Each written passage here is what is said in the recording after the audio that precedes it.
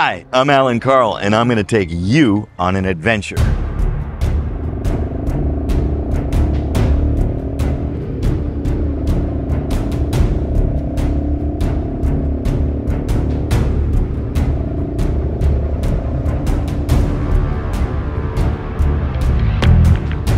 I mean, this bike is is it's in pieces right now. Are we gonna are we gonna be able to get this ready? Says there's no record of my bag even arriving here. Um, we're trying to get this prepared over the next day and a half.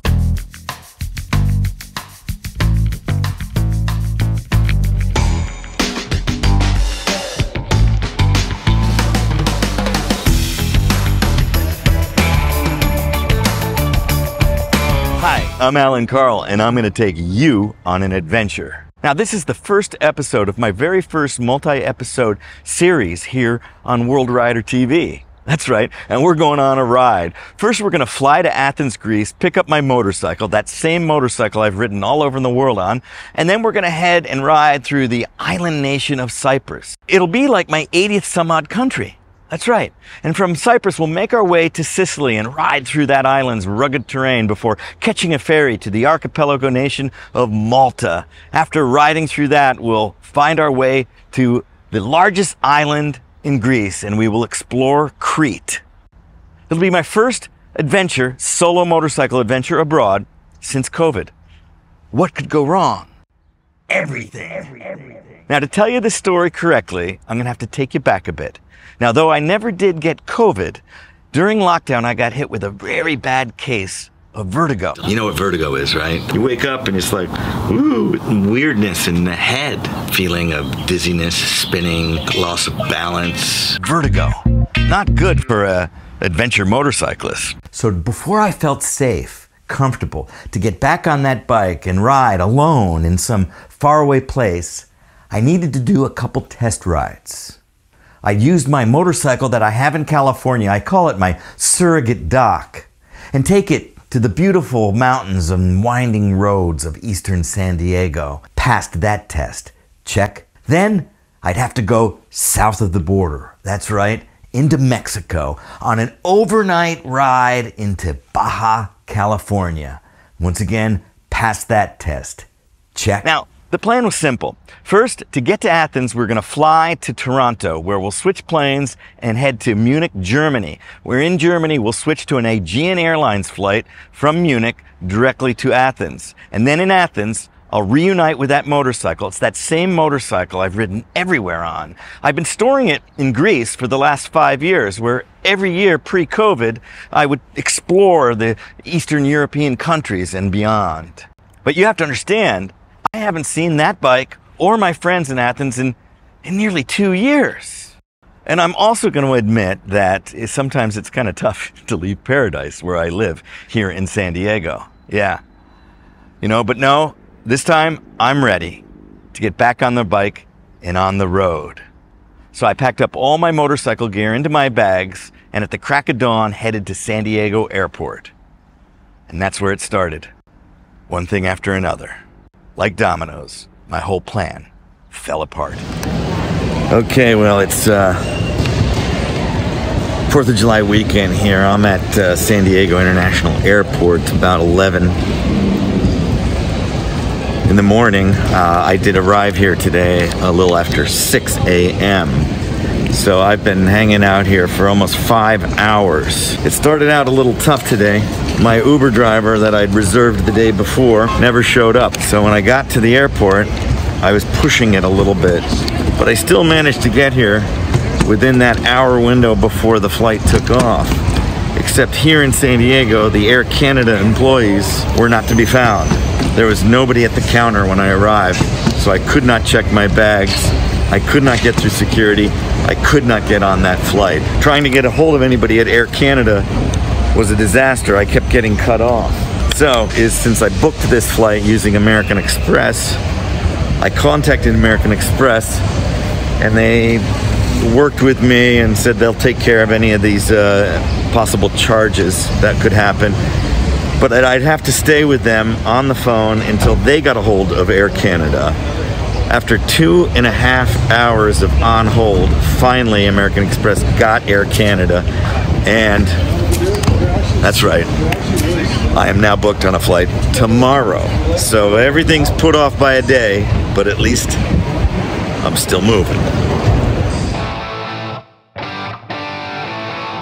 Okay. Things are looking up. Day two, San Diego Airport. Believe it or not, I got past security. I got a boarding pass. And bags are checked. Air Canada. Two stops. Toronto, a couple hours. Hop on a plane to Munich. May I have your attention, please? Thank you. Okay. Yeah, you're welcome. So, Munich, hour and 10 minutes, I think. So I'm hoping that it's not, it's a pretty big airport, but we'll see. Then to Athens. From there, Nick, the taxi, the legendary. I see him every time I go. There's been a lot of times, you know. That's the latest here at uh, San Diego, you know, International Airport. Looking good here.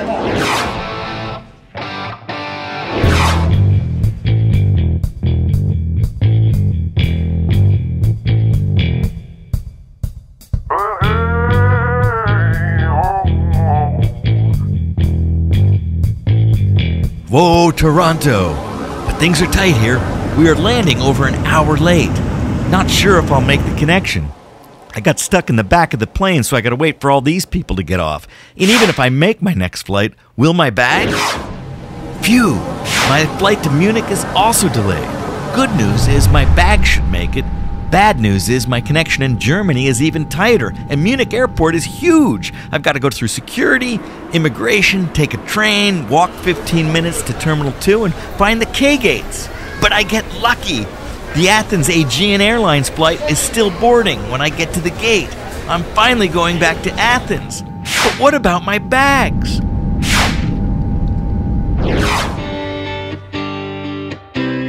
Oh man! I'm here. I'm here in Athens. I'm here in Athens, right here. We're in Piraeus. It's been a crazy long trip today, but I am with the best welcoming face you could ever see in Athens. This is Nick, my taxi driver. I, I every year I've been coming here for the last three or four years. Nick has always been there. Nick, what's happening here in Athens since the last time I was here? Uh, it's uh, it's been uh, crazy, crazy time since you, since you've been here. Yeah, we Uh, lost a couple years, didn't we? Yeah, we did, we did, we did, we did. Now with you know with the COVID and all, but Yeah. things are better. Things are great now, and you're here, so things are gonna get better. That's it. That's gonna get better. We're we're gonna tear it up. And you got COVID. Yeah, yeah. I got COVID. I got COVID twice. Okay. Uh, first time I, I got hospitalized, but uh, things went good. You know, I just did my uh, therapy, came out straight away. Everything's good.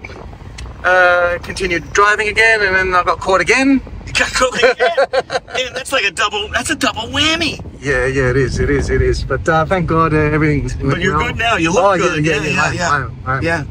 And and and Athens is uh is it coming back to life post COVID? Is it? Has, Oh yeah, yeah, yeah, yeah. Everybody's now, you know, the last month now, nobody's wearing masks. But uh, now that it's starting to get pick up a bit now. it is. But yeah, yeah, yeah, bit. yeah, bit- it's, yeah, yeah, It's a so- smart thing to do. Yeah, know? yeah. So people are wearing masks again a bit, Yeah. a bit. Yeah, yeah. But we'll see. We'll see what happens. You know, see what's going on. But things are good. You know, we got beautiful weather here. And we got Karl here. Yeah. Okay. so- yes. Yes. Yes. uh, yeah. You do. You do. so there's a, there's a lot to be to be explored. There's a lot of old things. There's a lot of new things. That's right. And that's what why Athens always is surprising. Love to be here. Thank you, my buddy. You're welcome, Karl. We're gonna we're gonna take you for a ride all over. We don't know where we're going, but it's gonna be exciting. And this is how we kick it off with Nick here in Athens. Allan Karl World Rider. Greetings from Athens, Greece. Okay, that's right, Allan Karl World Rider, World Rider here, and I am in Athens, Greece. But let me tell you, getting here wasn't very easy. I won't even get into the fact that I was supposed to fly July 3rd, but that flight got canceled. I had to fly July 4th. But here was my itinerary today. Well, it's July 5th here now, but you know, I've, I've been I've been in Athens now a few hours, but you got to hear what's going on. It's crazy. Okay, so I fly from San Diego to Toronto. That flight's a little delayed on arrival. I'm a little worried about baggage, but you know, it looks cool because when I get there, the flight leaving for Munich, which is my next connection, is also delayed by that one by an hour. So no problem. That's plenty of time at Toronto International Airport to get my luggage onto the plane. Well, when I get to um, Munich, we are late again. Of course, we had a late arrival, and I only had an hour and ten minute uh, layover. And if you've ever been to Munich airport, it is a crazy nightmare kind of a place. You got to walk at least some three miles in order to uh, in order to get through to the international terminal. And that also requires them to verify your uh, your passport, make sure you're good to clear into the EU there. So anyway, I am landed there, wheels down 15 minutes before boarding. By the time we taxi to the gate, it's they're already boarding, and I've got to I've got to I, as I said I got to go miles to get to this uh, to this terminal, and I look at the clock, and by the time I'm in that particular it's the the the the, uh, the K uh, terminal. It's two minutes before takeoff, and they always say you got to be there 15 minutes. They lock the doors. Well, luckily, I round the corner and I see this huge crowd outside my gate, and yes, I made it. But then the question is, did my luggage make it? So it occurs to me that I've got an air tag attached to an item inside my luggage. I open that up just before we're about to take off, and I see that that luggage is not sitting in Munich, like trying to figure out how to find my plane. No, it's still in Toronto. More to this story as it comes, but it's good to be here. And by the way, this is Marina Zea. This is where all the luxury yachts come when they want to visit Athens, let alone the um, infamous islands off the coast here. Now, the bottom line to the story is I'm in Athens, but I'm not with my luggage. And you know, I go to the uh, baggage tracing area there at Athens International Airport, and I show them my uh, baggage tags. They trace the number, and I said, Where are those bags? And they say, Oh, it looks like they're in Munich. And I pull out my iPhone, tap on my AirTag, um, and, you know, find my app. My AirTag says that bag, at least the item that's inside the bag, is in Toronto International Airport. So now, yes, the adventure really begins. Where are my bags? That has my helmet, my riding suit, all kinds of information for my bike. So I don't know. Let's see. Well, it's about nine o'clock here in Athens. And I say it's time to get a little bit of food, probably a little bit of wine. So we're headed to Corks and Forks here in Marina Zea.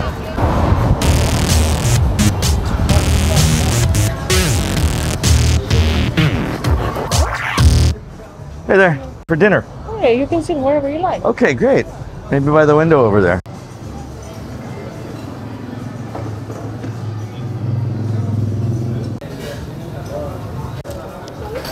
Ah, the wine list, yes. Oh, really? Oh, lovely. Thank you.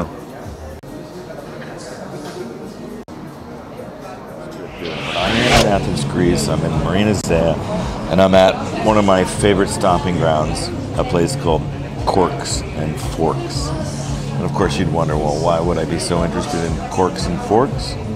Well, that's pretty self-evident. Forks, you know, and my next book is Corks. Corks and Forks. I'm, I'm drinking a wine from Crete, which is an island I hope to visit on this trip here. But I am in Athens, Greece. I'm in Marina Zea, having a Cretan wine blend of two grape varietals that I can't pronounce, but they're unique only to Crete. Do you guys care about this? Probably not. But anyway, it's a good wine. I love it. I'll geek out on it, not bore you with the details. If you want, leave me a message. I'll go ahead and actually uh, geek out on wine with you. A quick update. I still, it is now more than 24 hours since I landed. Yesterday, Tuesday, at about 3 o'clock. It's now about 10 o'clock in the evening on Wednesday, and no word on where my luggage is. In checking online, that it says it's in Munich. Now, when I landed, it was in Toronto. So it's still tentative. And then today, I'm over there at the BMW dealer, and they hadn't done as much work as I thought they would have.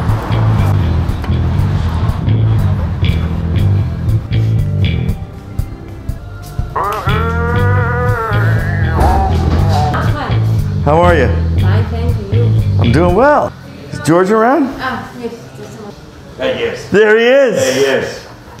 George. Hello, I'm doing all right. You are fine. You know that my bags never came. Alicia. They're still in, this morning they were in Toronto. Oh my God. So, you know, my helmet, the... the okay. Dun, dun. Dun, dun, dun, dun. Alan Clark. Hey amigos, there he is. How are you? I'm doing well. How are you? Good to see you again. Good to see you. Two days try to, to fix the, the look because look at the look at the other way. Your, your look now won't be a problem. But we have to disassemble everything. Oh my God. Break it. Wow. Change, we changed only the middle part, the, the key, the, the bottom. Only that. We didn't break anything. I don't know who locked it. I never lock it. I never lock this. You know, there was a an issue. It's been an ongoing issue for so long with this ignition switch that if you ever put it in lock, where you where you lock actually the the the wheel to or the handlebars rather to far left or far right, that you could never get the key out without um, a lot of patience and a lot of perseverance and a lot of time. Somebody locked it. Locked it. That's it. And I was trying at least half an hour. And Oh. you sent me a message and I saw that you're trying two hours in a parking lot. And I said, okay, I was like this. the people who delivered the bike from the garage where it's been stored over the past three, almost three years, ended up putting the ignition key into that lock position, which I never do because it's just been used so much. This bike's been to 80 some odd countries. It's got nearly 100,000 miles on it, over 150,000 kilometers. And um, that key has been turned, if you can imagine, how many times. So I didn't do anything. We just picked it up, we didn't bring it down here, disassembled, we fix it. Now, everything is good. uh-huh. New. Now it's not ready yet. No, I mean, this bike is is it's it's in pieces right now. Are we gonna are we gonna be able to get this ready? It's in pieces right now. Are we gonna are we gonna be able to get this ready Now it's not ready yet. To go on a ferry ride to one of the islands, or am I gonna be sitting here on Friday, screwed, missing that ferry? What you want Right me in to here. do? You think we have a new battery? Yes, we have, of course. Okay, the lock, it's okay. Uh, okay, you need the tires? Yeah. Do you think? Yes, I think. Yes. Yeah. It Anakee's 80-20, right? Yeah. Yeah. One, let's do those. Mostly road. Mostly road. Yeah. I, I I think for around Greece and for I'm gonna go to Cyprus Okay. Cyprus is good. and I'm gonna go to uh, Crete Crete is good. and Malta. Malta. Malta. It's hard to get to, isn't it? Yes, hard to get, but it's. I heard it's very nice. A lot of roads. A lot of roads. Kilometers. Yeah. Uh, okay, but then we make a, an annual service. We need oil, oil filter, and brake fluid. We can do that. Yeah. And what about the sprocket and chain? That's what we're going to talk about now. Yes, I think I think you need changing.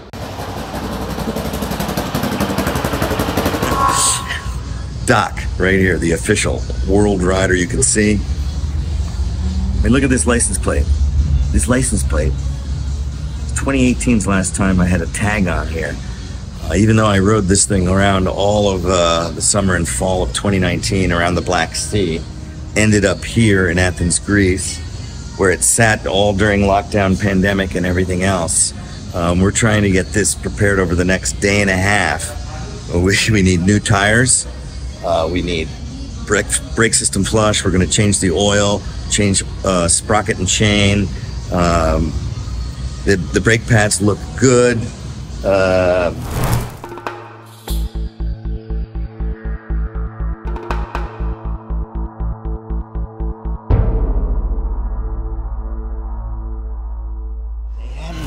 much work as I thought they would have. I, I don't know where the disconnect is, but you know, they've done the battery. They've done. There was a problem with the lock. Crazy. It's it's it's bothered me for years, but they got kind of caught up in it. I've never brought it up because there is a workaround. You don't lock it. That's all there is. That's the workaround. Don't lock it. But so that frustrated the service people a bit, and I think kind of made it like, oh, do do do do do do. Uh, they've got basically a day and a few hours to change my tires, sprocket and chain, flush the cooling system, new brake flush, brake fluid, oil change filter, check the hoses, and just to make sure the bike is safe and ready because it has not ridden since October 2019, and here we sit, July 6th, 2022, almost three years later.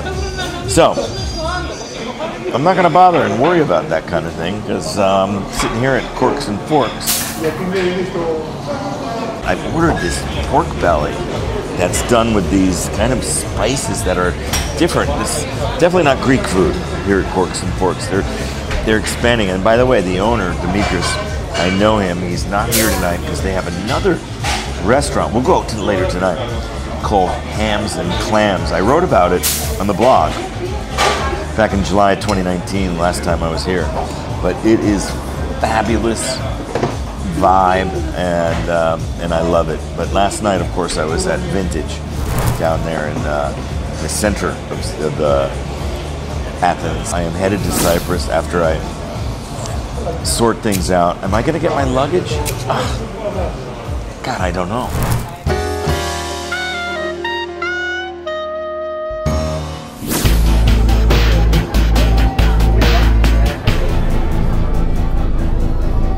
Hello? Is Demetrius here? He wasn't here today at all? No. Oh, okay. No. Probably he has a day off. Yeah, there you go. Okay.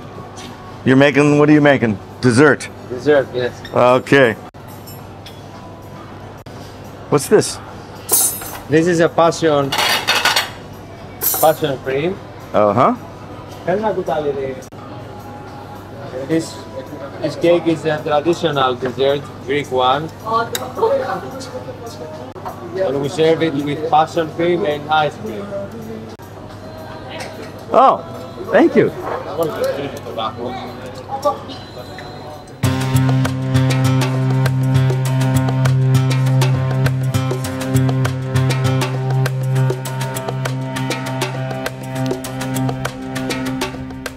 I hired a taxi to go to the airport so I could use my tracker, find the bag, pick it up, and be onward. Um, I'm in the good hands of Konstantinos, who's my taxi driver here. Say hi, Konstantinos. Hi. Okay.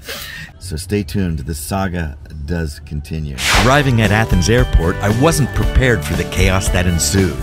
To get authorized to enter the baggage claim area, I showed them my boarding pass and lost baggage claim report. That was the easy part. After an hour long wait in these insane lines, Gold Air says there's no record of my bag even arriving here. So I pull out my iPhone and AirTag tracker, which shows my bag is here, behind the security doors right over there. But since it's not in the system, they cannot and will not help me. They suggest I roam and look around for it among the nearly thousand orphan bags piled up everywhere. No luck, and I know it because my bag is behind security. I don't think I'm leaving Athens tomorrow. So I wonder if Alex and the team have even started working on my bike. So I take a taxi to the BMW shop. And when I get there, I see my motorcycle is spread out all over the shop. But at least they started working. Down here at Vahinelli BMW in Athens, um, you can see Doc here. It's missing some wheels, but that's that's okay because right down here, I've got them. New tires, Bridgestones. That's that's what we got to deal with. I can't get my Avons here, but that's all right. But if you look over here at the bike, I'm leaving tomorrow at two o'clock. It's like uh 24 hours from right now. Look at this.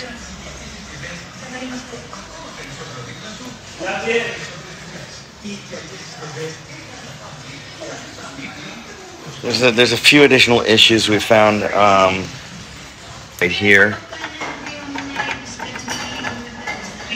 Um, loose. We don't really know uh, why that is. We're looking into that. It attaches to the um, to the lower unit, which uh, the technician's in the back right now cleaning. Actually, I can kind of go back there. You know, they say no customers beyond this point. Well, I'm not really a customer. I'm kind of, you know, you know, I'm a, I'm a fan. Here's here's the lower unit that the rear wheel attaches to, which then the, that shock mechanism connects this to the bike. Uh, they're cleaning it. There's a problem right here.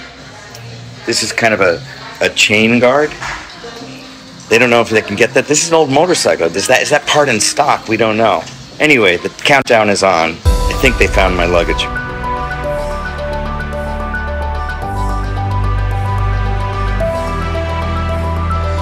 If I got to go out and buy a new helmet and all that stuff, I mean, it's quite costly, to be honest.